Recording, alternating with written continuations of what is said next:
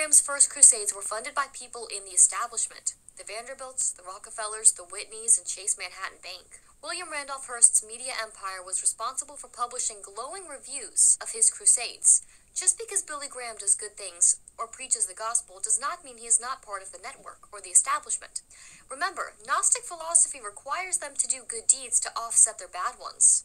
Some of the greatest philanthropists are also some of the highest ranking Satanists.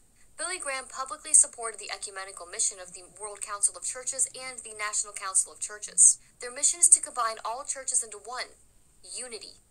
Billy Graham did more than anyone to bring about the one world church. Christians have been conditioned to believe that Billy Graham is a great prophet of God by the establishment media, which, in reality, he was a 33rd degree brother man who had many angelic attachments and was given an honorary knighthood by the Order of the British Empire.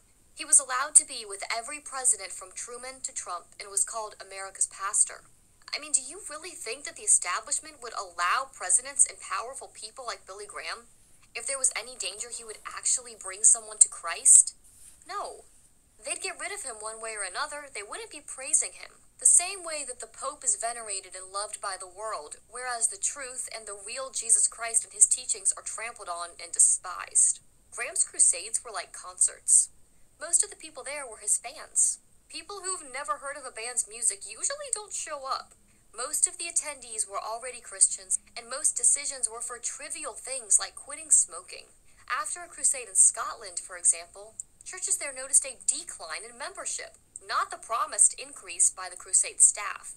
But when the media reported on the Crusades, they made it seem as though thousands of people became new Christians. On May 28th of 1978, in the Japanese newspaper Mainichi Daily News, Graham said, I think communism's appeal to youth is its structure and promise of a future utopia. Mao Zedong's eight precepts are basically the same as Ten Commandments.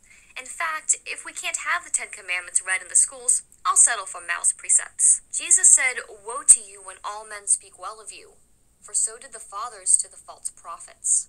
In terms of a paper trail, we have the following Billy Graham's books consistently refer to basically only brothers. Billy Graham endorsed the Brother Manic Demolay program of Youth as God's Work.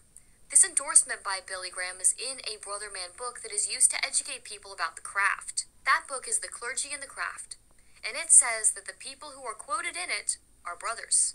His closest